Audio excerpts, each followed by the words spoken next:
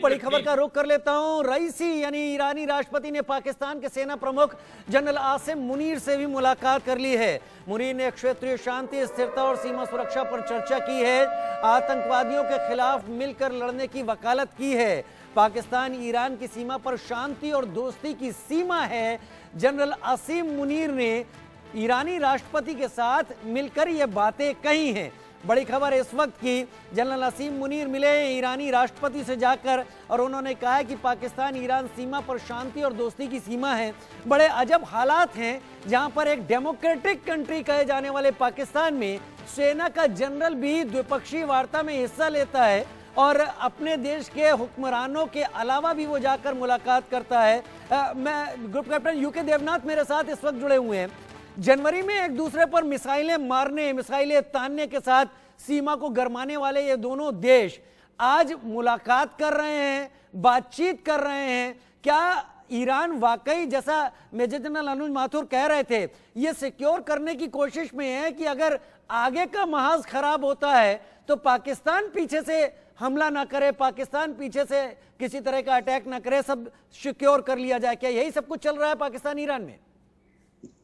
देखिए, पाकिस्तान के strategic objective दो तरह से तो हैं, जहाँ तक जियो की बात है।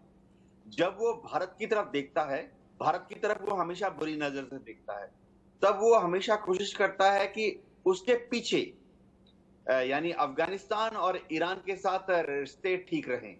और इस वक्त वो बहुत कोशिश कर रहा है कि ईरान के राष्ट्रपति को रिझाए और उन्हें समझाए कि भारत जो है वो कश्मीर पर कब्जा करके बैठा हुआ है।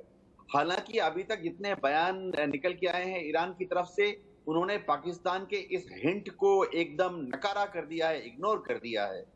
ईरान के राष्ट्रपति अभी पाकिस्तान में आए हैं। दो तीन बड़ी बड़ी चीज़ें हैं, ट्रेड बढ़ाने का चाहते हैं, सिक्योरिटी संबंध बढ़ाना चाहते हैं।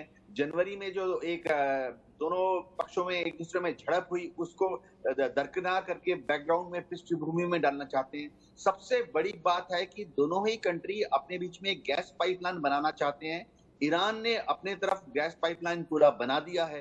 पाकिस्तान के हिस्से गैस पाइपलाइन शुरू हो गया है, ग्वादर तक आएगा। इसके बाद ईरान और पाकिस्तान दोनों के बीच में तिजारत ट्रेड गैस एक्सचेंज बहुत ज़्यादा बढ़ने वाला है। अमेरिका को काफ़ी तकलीफ़ है। तो दोनों ही मुल्क ईरान तो पहले ही अमेरिका को इग्नोर करता था और अब पाकिस्तान से भी लगता है कि उनकी सरकार ने थोड़ा सा अमेरिका को समझाने की कोशिश की है कि पाकिस्तान के सर्वाइवल के लिए पाकिस्तान की इकोनॉमी को थोड़ा सा बढ़ावा देने के लिए अमेरिका पाकिस्तान को अलाउ कर दे। मान जाए कि ये गैस पाइपलाइन बनेगी नाराज़ ना हो अमेरिका। तो हम्म। ऐसी पृष्ठभूमि में ये विज़िट हो रही है। जी।